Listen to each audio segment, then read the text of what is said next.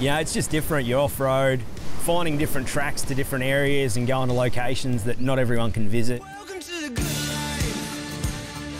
For bushwalks into areas that you know that there might only be a couple of people that go there that day.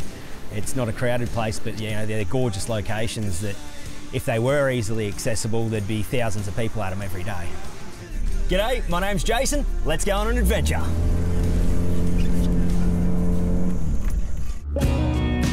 Jason lived most of his life on the picturesque beaches of Bribie Island, so when he found himself at a career crossroads, he looked into his own backyard and put the foot down on a new idea. All right, so as we're going along, guys, if you have any questions, feel free to ask. If it's got to do with the island, the history, the national park, the animals, that sort of stuff, normally I'll know the answer. However, if you catch me out on something, I'm just going to make it up and hopefully you girls don't know any difference. I moved here in 1996. My first impressions of the island was it was a really quiet, sleepy place.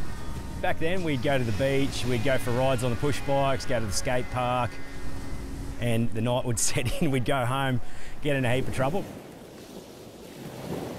First time I uh, went four-wheel driving that I can remember, it would have been on Bribie. It was one of the back tracks, and I remember we were going up past one area.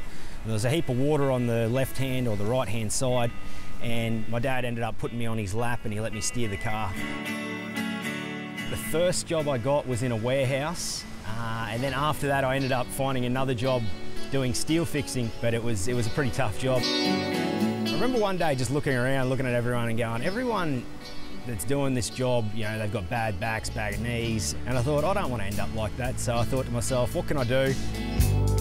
Uh, it was reasonably rough because, you know, I'd put a lot of effort into trying to start this marketing company. Uh, went down to the Gold Coast, tried to sell it, worked out I couldn't sell it, thought I'd wasted a ton of money.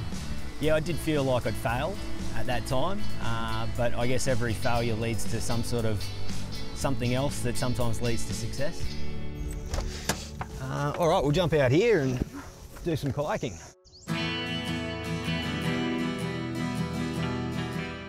And then I done a little bit of soul searching basically, had a conversation with my dad. And he said to me, why don't you start a tour company on Bribie? You like four-wheel driving? And I went, you know what, that's not a bad idea, let's do it. All right, awesome, let's go. Life jackets first, which we always wear.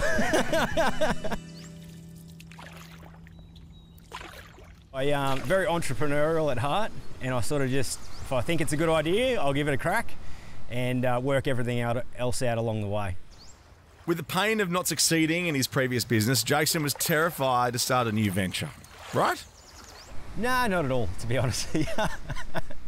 I don't, I don't really look at things like that, I guess. Maybe it's a bit of a downfall in my character, I'm not sure. Maybe it's a good thing. I don't feel the fear of, you know, oh, what if it doesn't work out? Because I know that there's always another opportunity and you're always going to learn lessons and get experience along the way. Worked it out the other day. It was about nine months from inception of business name to first tour of being run. So Eastern Grey Kangaroo, we get them on the island as well as the Swamp Wallaby. Uh, there's an Eastern Grey Kangaroo up on the dune right there actually. Perfect timing. So basically delved into the history side of things, met with a heap of different people, uh, learn along the way and just kept building on all the different knowledge that I've got now. Uh, still to this day, I'm picking up new things all the time. Nothing's ever what we expect. You've got to learn from your mistakes and if you're not making them, uh, well then you're not learning, are you? All we're chasing is the sunset. What keeps me going day to day for this work is the love for Bribie, uh, the love for showing this place off, but also my desire to be successful in the field that I've chosen to be in and to create something that I can hand on to my family, you know, God forbid when I pass, but to my son and, and that sort of thing. Yeah, there's not a lot of places you can just go down, drive on a beach. You're off the beaten track, it's, it's not a standard road, the conditions change all the time. Specifically with like Bribie here, you hit that beach and you got the sound of the ocean. It's just relaxing and it always puts a smile on my face. If you want to check out Jason's four-wheel driving tours, you can find out more at goodayadventuretours.com or head to the Visit Moreton Bay Region website.